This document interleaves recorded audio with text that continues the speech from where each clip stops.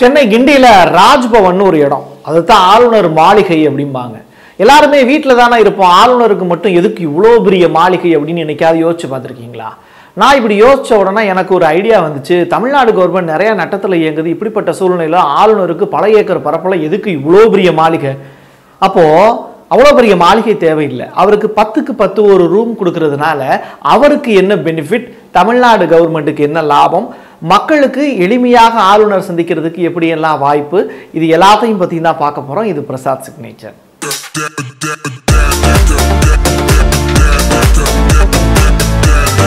நீங்கள் நிச்சயமாக சென்னைக்கெலாம் வந்திருக்கக்கூடிய நபராக இருப்பீங்க. இல்லை சென்னையிலேயே வாழக்கூடிய நபராக இருப்பீங்க. கண்டிப்பாக கிண்டி அப்படிங்கிற ஏரியாவுக்கு போயிருப்பீங்க. அண்ணா யூனிவர்சிட்டியை பார்த்துருப்பீங்க. ஐஐடிக்குள்ளெல்லாம் போகிறதுக்கான வாய்ப்பு இருக்கும். ஆனால் கிண்டியில் முக்கியமான ஒரு இடம் என்ன அப்படின்னு கேட்டிங்கன்னா Guindy bus stand railway station அப்படிங்கிறத தாண்டி கிண்டியில் ராஜ்பவன் அப்படிங்கிற ஒரு இடம். அந்த ராஜ்பவன் அப்படிங்கிறது ஆளுநர் மாளிகை. நீங்கள் அந்த ஆளுநர் மாளிகையினுடைய கேட்டை மட்டும்தான் பார்க்க முடியும். வெளியில் வந்து ஒரு ஹை லெவல் செக்யூரிட்டி இருக்கும். போலீஸ்காரங்க தொடர்ந்து வந்து பாதுகாப்பு பணியில் ஈடுபட்டுக்கிட்டே இருப்பாங்க. யார்? தமிழ்நாடு போலீஸ்காரங்க. இப்படிப்பட்ட சூழ்நிலையில் உள்ளுக்குள்ளே வந்து ஆளுநர் மாளிகைக்குள்ளே நீ போயிருக்கியா பிரசாத் அப்படின்னு கேட்டிங்கன்னா நான் ரிப்போர்ட்டராக இருந்தப்போ ஆளுநர் மாளிகை ஃபங்க்ஷன்லாம் நடக்கும். அப்போல்லாம் உள்ளே போயிருக்கோம். உள்ளே போகும்போது வந்து பார்த்திங்கன்னா ரொம்ப ஒரு எப்படி சொல்கிறது ஒரு அழகான ஒரு காட்டுக்குள்ளே போகிற மாதிரி இருக்கும். அங்கங்கே பில்டிங்ஸ் இருக்கும் பல ஏக்கர் பரப்பளவில் இருக்கக்கூடிய ஒரு கட்டணம். பிரிட்டிஷ்காரங்களுடைய சாதனைகளை விளக்கக்கூடிய வகையில் இன்னமும் வந்து பார்த்திங்கன்னா அங்கே நிறையா ஃபோட்டோஸ் எல்லாமே ஆல்பம்ஸ்லாம் வச்சுருப்பாங்க. அங்கங்கே அங்கங்கே ஃபோட்டோஸ் பெரிய பெரிய கட் அவுட்டில் மாதிரி பெரிய பெரிய ஃபோட்டோஸ்லாம் வச்சுருப்பாங்க.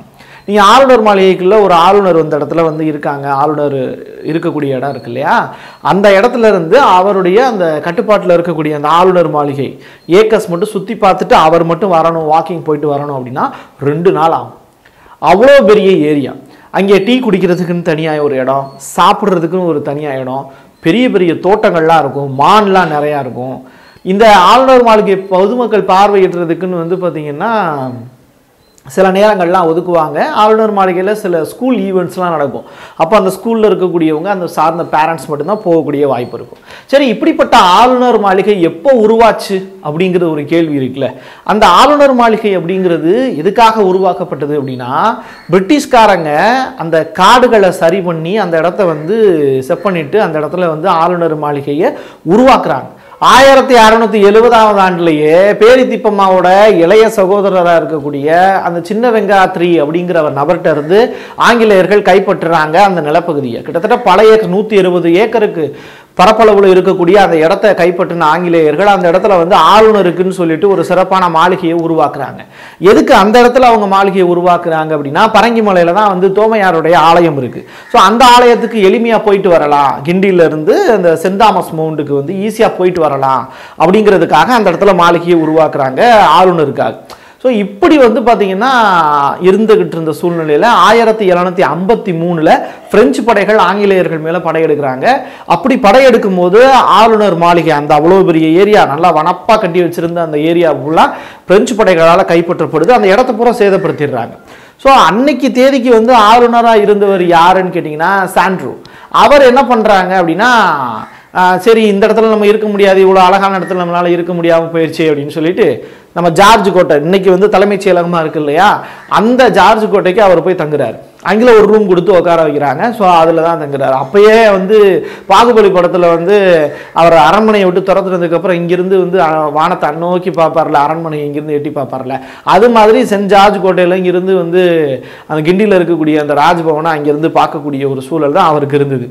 ஸோ இப்படியெல்லாம் வந்து ராஜ்பவனுக்கு பெரிய வரலாறு இருக்குது ஆளுநர் மாளிகையிலேருந்து துரத்தி அடிக்கப்பட்ட சம்பவங்கள்லாம் அப்பயே நிகழ்ந்திருக்கு. அதெல்லாம் தாண்டி மறுபடியும் அந்த கோட்டை வந்து கைப்பற்றப்படுது. அதுக்கு முன்னாடி ஆயிரத்தி எழுநூத்தி ஐம்பத்தி மூணில் என்ன பண்ணுறாங்கன்னா இந்த ஆண்டோனியா தி மதராசி அப்படிங்கிற ஒரு லேடிட்ட தான் இப்போ இருக்கிற ஓமந்தூரார் பல்நோக்கு சிறப்பு மருத்துவமனை சென்னையில். கலைஞர் கருணாநிதி கூட அதை தலைமைச் செயலமாக மாற்றுறதுக்கு முயற்சி பண்ணார். அதுக்கப்புறம் வந்து ஜெயலலிதா அம்மா கூட அதை வந்து பன்னோக்கு மருத்துவமனையாக மாற்றிட்டாங்க அந்த இடம் அதுக்கப்புறம் இப்போ இருக்கிற அரசினர் தோட்டம் அதுக்கப்புறம் சிறப்பு விருந்தினர் இல்லம் பின்னாடி இருக்கக்கூடிய எம்எல்ஏ ஹாஸ்டல் இந்த இடங்களை எல்லாம் ஒன்றா சேர்த்து அந்த ம ஆண்டனியா தி மதராசி அப்படிங்கிற அம்மாட்ட இருந்து பன்னெண்டாயிரத்தி எண் இரநூத்தி ஐம்பது ரூபாய்க்கு வந்து வாங்குறாங்க ஆங்கிலேயர்கள். இதெல்லாம் வாங்கி அந்த இடத்த வந்து சரி பண்ணி அந்த இடத்துல பில்டிங்லாம் கட்டிட்டு ரெடி பண்ணி வைக்கிறாங்க. ஸோ ரெடி பண்ணி வச்சு அந்த இடத்துலையும் தங்கிக்கலாம். ஏன்னா சென்ட் ஜார்ஜ் கோட்டைக்கும் இந்த இந்த இடத்துக்கும் இடையில பக்கத்தில் தான் இருக்குது இடையில வந்து மெட்ராஸ் யூனிவர்சிட்டி மட்டும்தான் இருக்குது ஸோ இந்த ரோடை கிராஸ் பண்ணோம்னா பக்கத்துலேயே அக்சசபிளாக இருக்குது அப்படிங்கிறதுனால இந்த இடத்த சூஸ் பண்ணி அங்கே வந்து சில நாள் சில காலம் தங்குறாங்க. இப்படிப்பட்ட நேரத்தில் தான் ஆயிரத்தி எண்ணூற்றி ஓராம் ஆண்டு மறுபடியும் வந்து பிரெஞ்சு படைகள் துரத்தி அடிச்சுட்டு பாண்டிச்சேரி வரைக்கும் ஆங்கிலேயர்கள் வந்து கைப்பற்றி முடிக்கிறாங்க. அப்போது மறுபடியும் ஆளுநர் மாளிகை வந்து கையில் வருது ராஜ்பவன். கிண்டி அந்த லாட்ஜ் அப்படிம்பாங்க அன்னைக்கு தேதியில். அந்த கிண்டி லாட்ஜ் அப்படிங்கிறது மறுபடியும் கைப்பற்றப்படுது. மறுபடியும் அந்த இடத்த புதுப்பிக்கிறாங்க இந்த வேலையெல்லாம் செய்கிறாங்க இதுக்கு இடப்பட்ட அப்புறம் தான் ஆயிரத்தி எண்ணூற்றி இருபத்தி ஒன்றில் வந்து சர் தாமஸ் மன்றோ அவருங்கிறவர் வந்து ஆளுநராக நியமிக்கப்படுறாரு. ஸோ அவருக்கு அப்புறம் தான் வந்து பார்த்தீங்கன்னா சின்ன சின்ன அலுவல் ஆய்வு கூட்டங்கள்லாம் நடத்துறதுக்கு அந்த ஆளுநர் மாளிகை பயன்படுத்தப்படுது. மான்லாம் அதிகமாக இருக்குது ஸோ ஈஸியாக வந்து அந்த பீரியடில் மானை வேட்டையாடுறதுக்குலாம் தடை கிடையாது. ஸோ எளிமையாக வந்து மான்கள் எல்லாம் வேட்டையாடுறதுக்கு பிடிச்ச நேரம் வந்து சாப்பிடலாம் எல்லாத்தையும். ஸோ இந்த மாதிரியான வேலைகளை எல்லாம் அந்த காட்டுக்குள்ளே ஒரு நல்ல ஒரு கா ஃபுல்லாக ஒரு காடு இருக்குது அதை சமப்படுத்தி சமவெளியாக மாற்றுறாங்க புல்தரைகள் மாற்றுறாங்க இன்றைக்கி இருக்கக்கூடிய ஆளுநர் மாளிகைலாம் பார்த்தீங்கன்னா பிரம்மாண்டமாக இருக்குது அதுக்கு வித்துட்டவங்க எல்லாமே வந்து ஃப்ரெஞ்சுக்காரவங்க அதுக்கப்புறம் ஆங்கிலேயர்கள். நம்ம அடிமைப்படுத்தி வச்சிருந்த ஆங்கிலேயர்கள் தான். சரி ஆங்கிலேயர்கள் காலத்துக்கு அப்புறம் இந்த பக்கம் அப்படியே நேராக வந்தீங்கன்னா ஆயிரத்தி தொள்ளாயிரத்தி நாற்பத்தி ஏழுக்கு அப்புறம் சுதந்திரம் கிடைக்குது. சுதந்திரம் கிடைச்சதுக்கப்புறம் அந்த ஆளுநர் மாளிகை மட்டுமே நம்ம இந்தியன் கவர்மெண்டால ஆளுநருக்குன்னே ஒதுக்குறாங்க. அப்போ இந்தியன் கவர்மெண்ட் இதுக்காக செலவு பண்றாங்களா அப்படின்னு கேட்டீங்கன்னா இந்தியன் கவர்மெண்ட் ஆளுநர் மாளிகைக்காக அஞ்சு பைசா கூட செலவு பண்றது இல்லைங்க. அங்கே இருக்கக்கூடிய ஒட்டுமொத்த செலவையும் தமிழ்நாடு கவர்மெண்ட் தான் எடுத்து செஞ்சுக்கிட்டு இருக்காங்க. அந்த இடத்துல ஒரு கேட்ரிங் ஆளுநருக்குன்னு சமைப்பாங்கல்ல அதுக்கு தனியாக டீம் இருக்கு. அவங்களுக்கு சம்பளம். அதுக்கப்புறம் அவ்வளோ பெரிய ஏக்கர் நான் சொன்னேன் இல்லையா அவ்வளோ ஒரு ஒரு நல்ல புல்தரை மிக்க ஏரியா பிரம்மாண்டமான கட்டிடங்கள் அங்கே பணியாட்கள் அதுக்கப்புறம் வந்து ஏகப்பட்ட விஷயங்கள் ஆவண மாளிகைலாம் சொல்லி முடியாது. அவ்வளோ பிரம்மாண்டமான ஏரியா அப்படிப்பட்ட இடத்துக்கு அவர் ஒருத்தர் மட்டும்தான் அந்த இடத்துல இருப்பார்.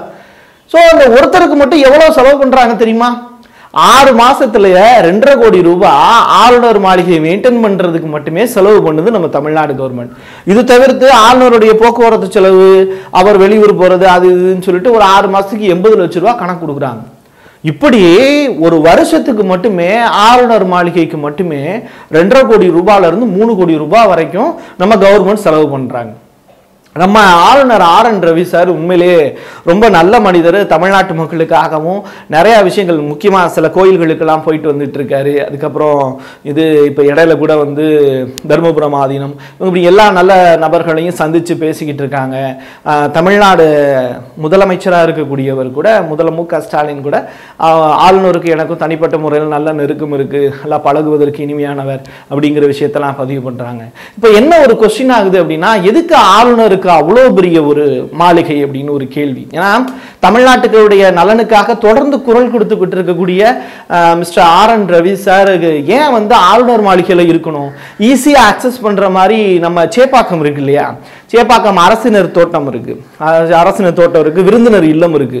அந்த விருந்தினர் இல்லத்தில் ஒரு பத்துக்கு பத்து ரூம் கொடுத்தாங்க அப்படின்னா எளிமையாக அவர் வந்து பார்த்தீங்கன்னா டைரெக்டாக வந்து செக்ரட்டேரியட்டில் வந்து எளிமையாக இருக்கக்கூடிய அந்த அமைச்சர்களை நேரடியாக கூப்பிட்டு பேச முடியும். ஆளுநர் மாளிகை வர வர்றதுக்கு நேரமும் ஆகும். பெட்ரோல் டீசல் செலவு வேற ஜாஸ்தி ஆயிட்டு இருக்கு ஸோ இப்படிப்பட்ட சூழ்நிலையில அவர் அக்சசபிலிட்டியை அதிகப்படுத்திக்கிறதுக்காக எளிமையாக ஆளுநர் மாளிகை அப்படிங்கிற ஒரு விஷயத்தை திறந்துட்டு அவரே ஒரு அறிவிப்பு கூட இருக்கலாம். நான் ஆளுநர் மாளிகையை திறக்கிறேன் அப்படின்னு சொல்லிட்டு அவர் அறிவிப்பு கூட கொடுக்கலாம். எனக்கு பத்துக்கு பத்து ரூம் இருந்தாலே போதும். ஏன்னா இப்போ நீட் உள்ளிட்ட மசோதாக்கள்லாம் ஆளுநர் மாளிகையில் எந்த இடத்துல இருக்குன்னு தெரியாது. ஏன்னா நிறையா பில்டிங்ஸ் இருக்கு.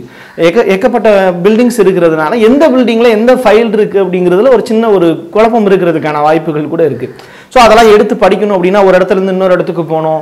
அதுக்கு வந்து பார்த்திங்கன்னா அதை எடுத்துகிட்டு வர்றதுக்கு அங்கே ஒரு ஆள் இருக்கணும். அவங்களுக்கு ஒரு சம்பளம் கொடுக்கணும். இப்படி ஏகப்பட்ட விஷயங்கள் இருக்குல்ல. ஸோ அந்த அக்சசிபிலிட்டியை வந்து அவங்க கம்மி பண்ணிட்டு ஒரே இடத்துல எல்லா ஃபைல்ஸுமே இருந்தது அப்படின்னா ஈஸியாக அவங்க பார்க்கறதுக்கான வாய்ப்பு இருக்கும். ஸோ ஒரு பத்துக்கு பத்து ரூமு அந்த பத்துக்கு பத்து ரூமில் ஒரு டேபிள் ஒரு சேரு ஒரு பாத்ரூமு ஒரு டாய்லெட் தனித்தனியாக ஒரு பாத்ரூம் ஒன்று கொடுத்துடலாம். ஒரு டாய்லெட் தனித்தனியாக யூஸ் பண்ணுறதுக்கு அதுக்கப்புறம் ஒரு டைனிங் டேபிள் அதுக்கப்புறம் சாப்பாடு செய்கிறதுக்கு அவங்களால சமைச்சு சாப்பிட்றதுக்கு வசதி இருக்காது. ஸோ அவங்களுக்கு சமைக்க தெரியுமா என்னன்னு தெரியாது. ஆனால் ஒரு சாப்பாடு சமைக்கிறதுக்கு ஒரு ஆள் நியமிக்கலாம். அவங்களுக்கு ஒரு இருபதாயிரமோ இருபத்தஞ்சாயிரமோ அவங்க சமைக்கிறதுக்கு அவங்களுடைய திறமைக்கு ஏற்ற மாதிரி சம்பளம் கொடுக்கலாம். அதுக்கப்புறம் ஆளுநருக்குரிய சேலரியை நம்ம கவர்மெண்ட் வந்து கண்டிப்பாக கொடுத்தாகணும். அவங்க செய்யக்கூடிய வேலைங்கிறது மகத்தானது. ஏன்னா தமிழ்நாடு மக்களுக்காக ஏகப்பட்ட நல்ல விஷயங்கள் செஞ்சுக்கிட்டு இருக்காங்க. தமிழ்நாடு மக்கள் நல்லா இருக்கணுங்கிறதுக்காக பல இடங்களில் குரல் கொடுத்துக்கிட்டு இருக்காங்க. அப்பப்போ டெல்லிக்கு வேற போய் பிரதமரை சந்திச்சுக்கிட்டு இருக்காங்க. உள்துறை அமைச்சர் அமித்ஷாவை சந்திச்சுக்கிட்டு இருக்காங்க. இப்படிப்பட்ட சூழ்நிலையில் ஒரு நல்ல ஒரு ஆளுமை திறன் மிக்க இருக்கக்கூடிய ஒரு ஆளுநர் வந்து ஆளுநர் மாளிகையை வந்து திறந்துட்டு அந்த வசதியே தேவையில்லை. தமிழ்நாட்டு மக்களுக்காக நான் திறக்கிறேன் அப்படின்னு சொல்லிட்டு ஈஸியாக நம்ம ஜார்ஜ் கோட்டைக்கு பக்கத்துலேயே இருக்கக்கூடிய நான் சொன்னேன்ல அந்த ஆண்டனியோ தி மதராசிங்கிற அம்மா கொடுத்த அந்த இடம் ஓமந்துராறு அஹ், பல்நோக்கு மருத்துவமனைக்கு பக்கத்துலேயே வந்து பார்த்திங்கன்னா அரசின சிறப்பு விருந்தினர் இல்லோன்னு அது சும்மா தான் கிடக்குது அதை வந்து கவர்மெண்ட் வந்து என்ன தமிழ்நாடு கவர்மெண்ட் என்ன பண்ணலாம் அப்படின்னா நீங்கள் வா நீங்கள் கண்டிப்பாக நீங்கள் இங்கே தான் தங்கணும் அப்படின்னு சொல்லி அவங்களுக்கு ஒரு அன்பான ஒரு கட்டளை இட்டாங்க அப்படின்னா நிச்சயமாக வந்து ஆளுநர் வந்து அந்த விருந்தின மாளிகளை தங்குவாங்க. மக்களுக்கு தேவையான வசதிகள் எல்லாத்தையும் ஒரே டேபிளில் இருக்கும்போது அந்த நீட்டுக்கான அந்த மசோதாவெல்லாம் படித்து பார்த்துட்டு எளிமையாக அவர் வந்து குடியரசுத் தலைவருக்கு அனுப்புறதுக்கு வாய்ப்புகள் எளிமையாகும். இதே மாதிரி நிறைய மசோதாக்கள் வந்து இன்னும் பெண்டிங்கில் இருக்கு. ஸோ அதெல்லாம் ஒரே டேபிளில் இருந்ததுன்னா அந்த பத்துக்கு பத்து ரூம் மட்டும் கொடுத்தோம் அப்படின்னா அவங்க எளிமையாக அதை படித்து பார்த்து குடியரசுத் தலைவருக்கு அனுப்புறதுக்கு இல்லை கவர்மெண்ட்டுக்கு டக்குன்னு வந்து ஒரு தகவலை சொல்றதுக்கு இல்லை கவர்மெண்ட்டுக்கே ஒரு ஆர்டர் போடுறதுக்கு எல்லாமே பக்கத்தில் அக்சசிபிலிட்டி நெருக்கமா அப்படி இருக்கிறதுக்கான வாய்ப்புகள் உருவாகும். இதை கவர்மெண்ட் செய்யணும் இப்படி செஞ்சாங்க அப்படின்னா தமிழ்நாடு கவர்மெண்ட்டுக்கு ஒரு வருஷத்துக்கு மட்டும் எவ்வளோ? ரெண்டரை கோடி ரூபாய் நெருக்கி அந்த நட்டத்திலிருந்து விடுபடுவதற்கான வாய்ப்பு இருக்குது இதை தமிழ்நாட்டு மக்களோட நலன் கருதி ஆளுநரும் செய்யணும். அதே நேரத்தில் தமிழ்நாட்டு மக்களோட நலன் கருதி தமிழ்நாடு கவர்மெண்ட்டும் செய்யணும். இதை செய்கிறதுக்கான வாய்ப்பை கண்டிப்பாக இந்திய அரசும் அதை ஏற்றுக்கணும் அதுதான் ரொம்ப முக்கியமானது. இதை வந்து ஒரு அரசியல் பார்வையாக பார்க்கக்கூடாது. இது ஒரு மக்கள் நல பார்க்கணும் அப்படிங்கிறது தான் நம்மளுடைய கோரிக்கையாக இருக்குது ஏன்னா என்னுடைய கையெழுத்து என்னுடைய மக்களுக்கானது தானே அதனால உங்களுடைய நலன் சார்ந்தும் என்னுடைய நலன் சார்ந்தும் இந்த பதிவை நான் பதிவு செய்கிறேன் நன்றி. மீண்டும் சந்திக்கலாம்.